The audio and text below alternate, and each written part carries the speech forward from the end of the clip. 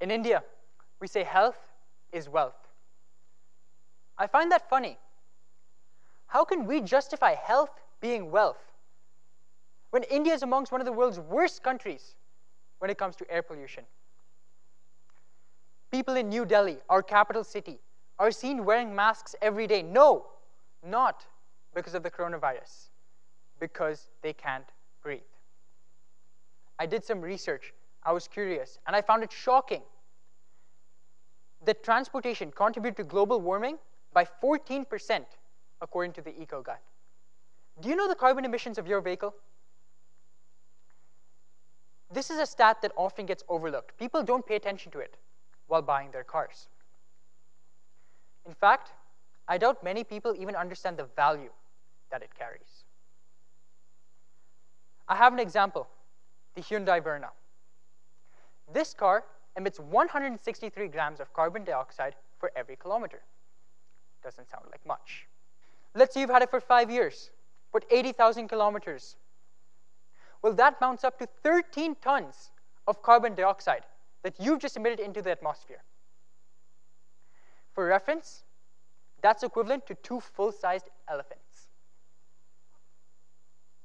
Being a car enthusiast, I'm always curious. I'm always looking at what's coming. What is the future of cars? And to be frank with you, it's electric.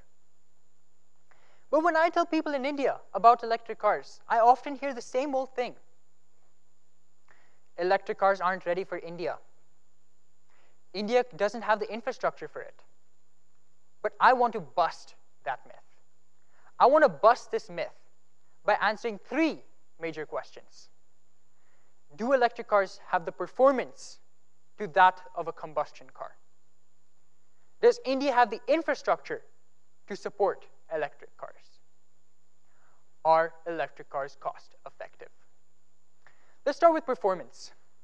Electric cars are already beating majority of combustion cars. I'll take an example, the Porsche Taycan. This is a four-door luxury saloon by Porsche, but it's electric. The Porsche Taycan will accelerate to 100 kilometers an hour quicker than a $2.5 million McLaren Speedtail. And it costs a fraction of the price. Electric cars have an advantage over combustion cars for having instant torque and not having to deal with power delay when you put your foot to the floor. Back when people used to use horses as their form of mobility and cars came along, people weren't ready to change. They were so used to horses. But it quickly became evident combustion cars were quicker and they were easier to maintain. And this is the same improvements we see being carried forward by electric cars today. Now let's move on to the next thing, infrastructure. Electric cars require to be charged. They don't use fuel stations. But I have a question. How did we get fuel stations in India in the first place? We rectified the necessity of it. We knew that we had to cope with the millions of cars on the road today, and we built that network to support and made that infrastructure of fuel stations so, the car, so we could meet the car's demands on the road. This is the same thing we need to carry over for electric cars. And change has already begun. Many apartment complexes have wall chargers installed, but we need to accelerate, pun intended. We need to accelerate and continue to build upon the infrastructure so we can have the foundations for electric cars and more people are motivated to move into electrification. That brings you on to the third point. Are electric cars cost effective? I won't forget two months ago when the internet broke in India. Petrol prices exceeded 100 rupees per liter. I talked to my dad about it as well. He told me that on average, we're spending 30,000 rupees a month just on fuel. And that's a diesel, mind you.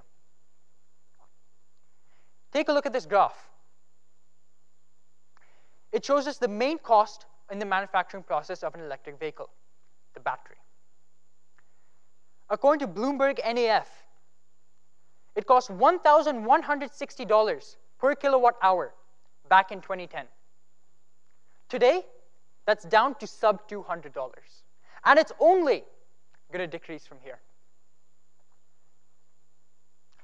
I have two examples the Mercedes Benz EQC and its combustion counterpart, the GLE. The Mercedes EQC is the electric car. It is more expensive than the Mercedes GLE. Now, let's take taxes into account. That Mercedes EQC is now cheaper than the Mercedes-Benz GLE. Many developed countries are pushing for laws so that more people move into electric vehicles, more people get exposed to electric vehicles, so that we can change for the better good. Countries are offering significantly lower tax rates, like India with the EQC and the GLE. Some countries even offer flat out government grants to people buying electric cars. These are vital changes. Electric cars are the future, and we should make it the future by acting upon it today, sooner rather than later. Day in and day out, the air we breathe is harmful, it's unhealthy for us, it's killing us. Yet we're spending money on our combustion cars to run and maintain them just for it to backlash us and affect us.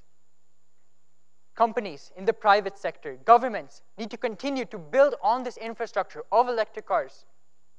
And I urge everyone to move electric for us, for a community, for India, and for a better tomorrow.